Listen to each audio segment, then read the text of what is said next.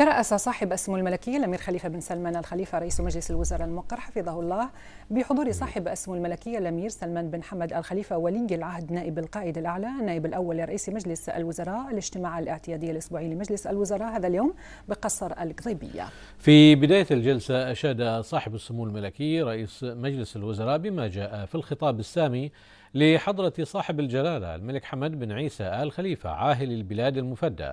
بمناسبة العيد الوطني المجيد والذي أكد جلالته فيه على ضرورة تكاتف الجميع لحماية المكتسبات والإنجازات والاعتزاز بما تحققه الجهود الوطنية التي تتنافس في مستويات أدائها مع المستويات العالمية خصوصا إذا تم الأخذ في الاعتبار الظروف الاستثنائية للأوضاع الاقتصادية والأمنية في العديد من دول العالم.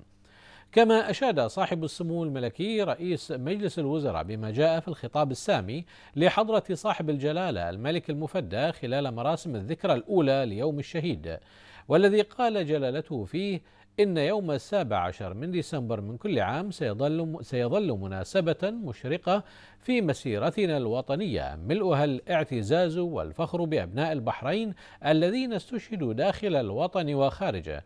نصرة للحق وإرساء للعدل ودفاعا عن أمن وسيادة أوطاننا وأمتنا.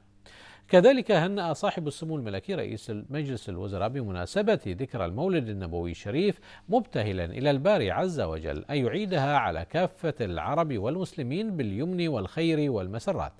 هذا وقد أشاد المجلس بتشكيل تحالف إسلامي عسكري تتصدره المملكة العربية السعودية لمحاربة الإرهاب وتأسيس مركز عمليات مشتركة لتنسيق ودعم العمليات العسكرية بمشاركة دول عدة تأكيدا على ضرورة التعاون لمكافحة الإرهاب بجميع أشكاله ومظاهره. على صعيد آخر وجه صاحب السمو الملكي رئيس مجلس الوزراء وزارة الصناعة والتجارة والسياحة إلى متابعة تسهيل الإجراءات بمركز المستثمرين بما يكفل سير العمل في أحسن صوره وتقليص مدة إنجاز المعاملات. بعدها بحث مجلس الوزراء المذكرات المدرجة على جدول أعماله واتخذ بشأنها ما يلي.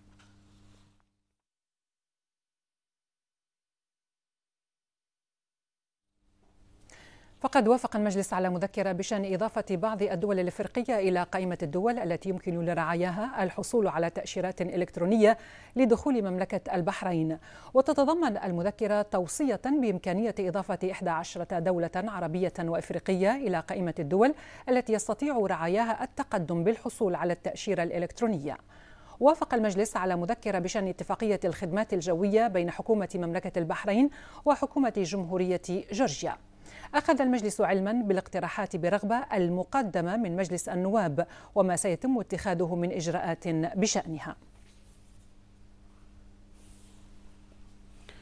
وعقب الجلسة عقد سعادة السيد عيسى بن عبد الرحمن الحمادي وزير شؤون الإعلام وشؤون مجلسي الشورى والنواب مؤتمرا صحفيا تطرق من خلاله لأبرز ما جاء في جلسة مجلس الوزراء. وأكد الحمادي أن لا مساس بمكتسبات المواطنين ولا بحقوق موظفي الدولة أو المتقاعدين.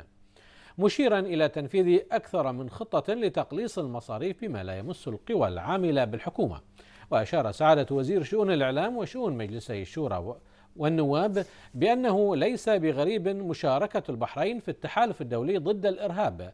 فقد شاركت المملكة سابقا في التحالف الدولي لمحاربة التنظيمات الإرهابية وكذلك التحالف العربي بقيادة المملكة العربية السعودية لنصرة الشرعية في اليمن.